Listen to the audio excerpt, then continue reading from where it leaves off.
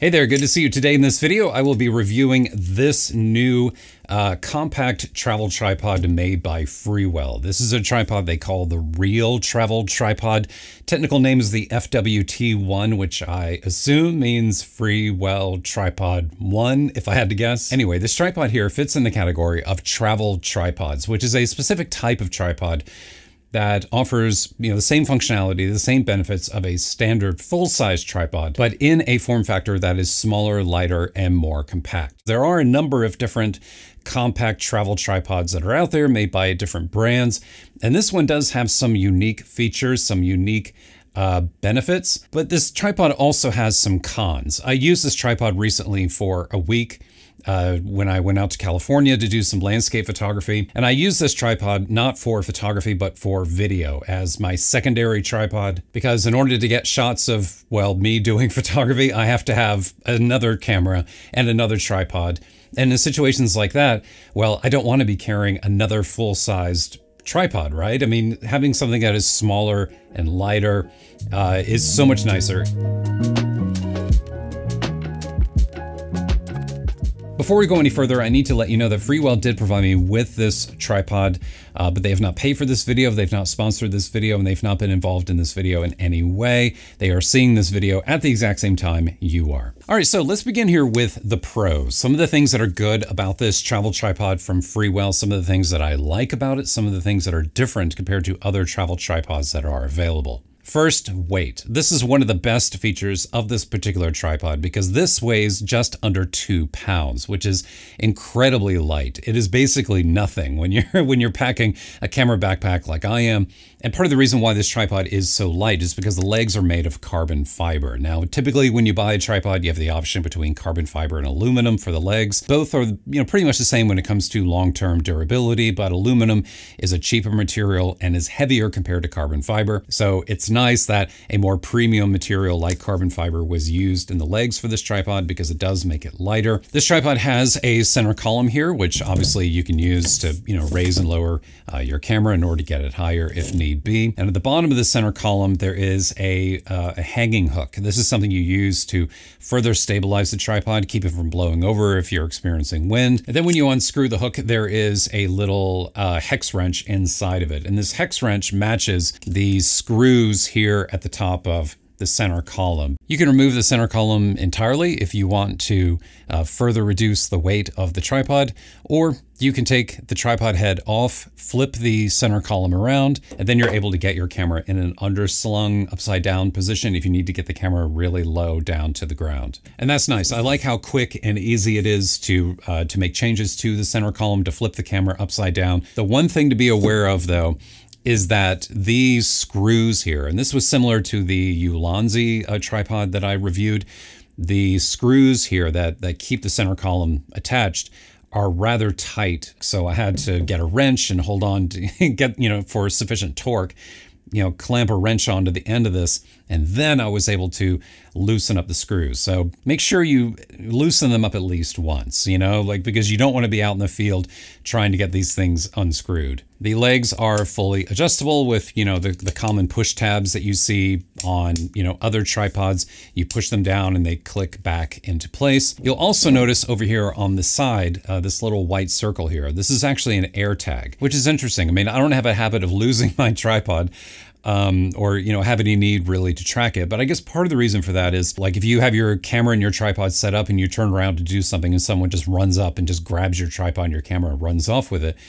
Well, I guess at least then you're you're able to track it. Now these screws are different than this. They don't use the same, you know, they're not the same diameter. You have to use your own screwdriver. So this is not something that you would uh, you know, mount while you're out in the field. This is something you would do at home before, you know, taking the tripod out somewhere.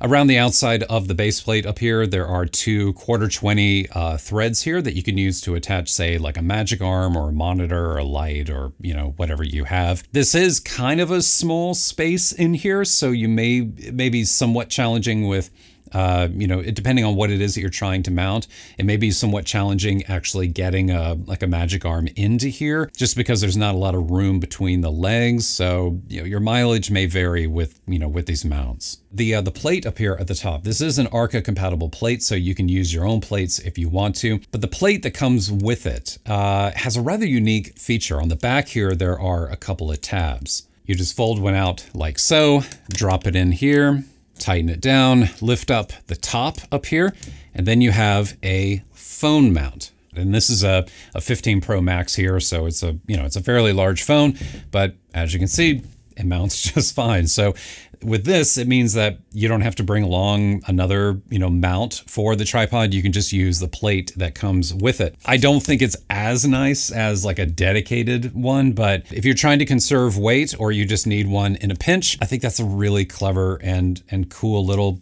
design idea just to build it right into the right into the plate. Okay, then with the legs, you may notice here that there are no like turnbuckles, there are no levers, there are no leg locks or anything like that. To extend the leg on this Freewell uh, travel tripod, you twist uh, the foot all the way to the left counterclockwise until you feel it stop, and then you extend the leg like so. And that means you can also collapse it and lock it back really quickly. This is nice when you just want to set up the tripod at full height. When you're out on the go and you just, you know, you're, you know, you don't want to mess around with the tripod and you want all three legs to be exactly the same height, well, it's really fast and really easy.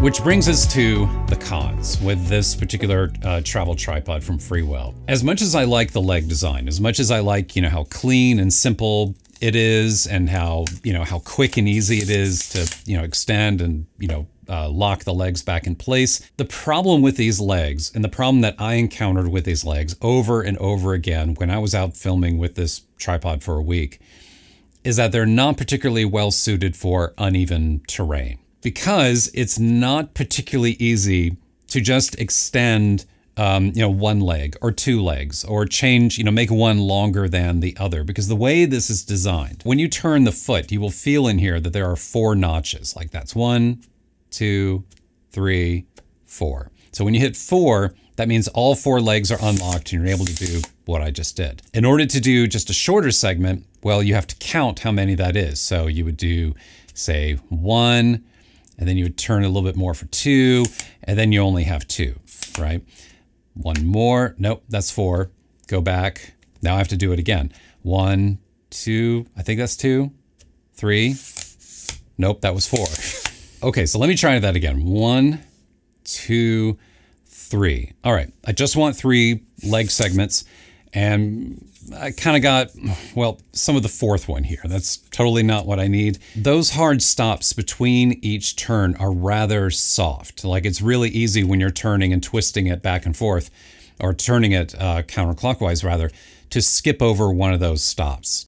And then there's the challenge of changing the length of a leg when a camera is mounted and when the tripod is standing upright on the ground. And it's challenging because I couldn't twist the feet because the feet were obviously on the ground. So what I would have to do is twist the leg, just, you know, hold onto the leg and twist it and then just kind of, you know, shove the leg into itself and then try and twist it back by hand in order to lock it. And there were a few times during the trip where I turned around and walked away from the tripod.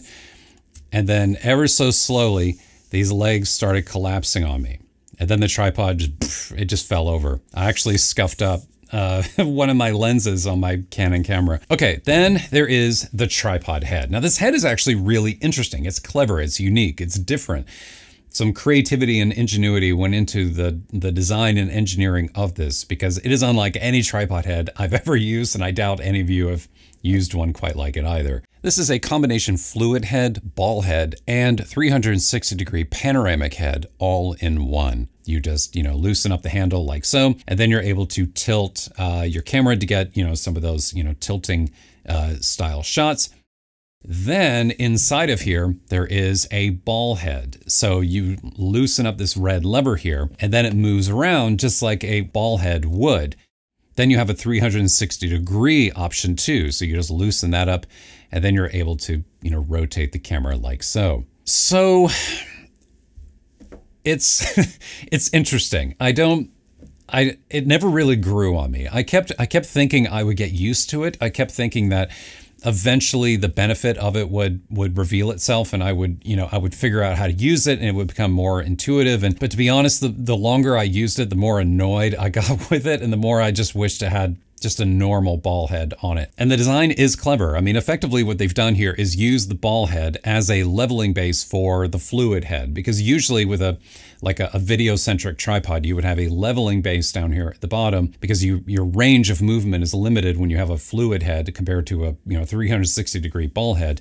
You would need some way, some mechanism to level the base of of the head so that you know this up here is is level so that the camera is level. But instead of going with a traditional leveling based design they just put a ball head in it so that then you're you know you just move this into whatever position you want. And that's that's clever and that's interesting but there's no real way to tell uh, you know when the uh, when your camera is level because there's the only spirit level that's on here is uh, up here on the uh, on the top, which is concealed by you know the Arca plate. And when your camera's up here, you can't see this at all. It's, it's basically pointless to have it up here.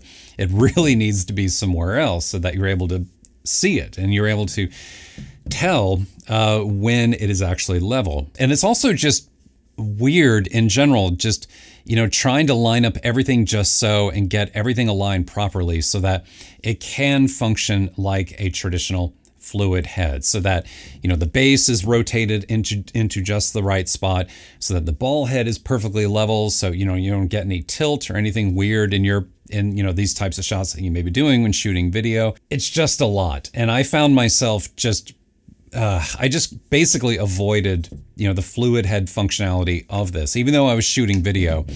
Basically, I just use it as a ball head. I just had my camera mounted up here. I would loosen this up and then just, you know, rotate this into whatever position I needed and then lock this down. So for me, the benefits of having both a ball head and a fluid video head and a rotating base in one design, in practical use, I never saw the benefit of it. Like it never made sense to me. It never worked well for me. And I just kept wanting this just to have a normal ball head on it. Like if it did, I think I would have been happier with it. By the way, I should point out if this head up here bothers you and you don't like it, uh, you can remove it. I mean, you know, you can just screw it right off. It has a 3 eighths of an inch thread here, so you can mount your own ball head if you want to. So for me, there are some definite pros and cons to this travel tripod from Freewell.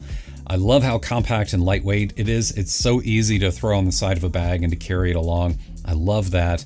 I also like the little AirTag accessory. I think that's pretty clever. And when you want to use the tripod at full height, uh, with all four you know leg extensions extended, it is very quick and very easy to set up when you want the tripod at full height where it gets weird is when you need some combination where you need, you know, like just one or two or three and you know, different uh, different lengths on each leg, and then trying to you know adjust it, uh, you know, out in the field and and lock it back by twisting the leg and stuff. It just yeah, there are some definite pros and cons to this design, and for me, I just I just never got used to it. And the same for the the tripod head. Unfortunately, I never got into the I never saw the benefit of the ball head and the fluid head and having both of these things together. I just wanted this to be simpler and I just wanted the legs just to use traditional locks where if when I lock it, I know that the leg is locked. Like, you know, that for me was a problem.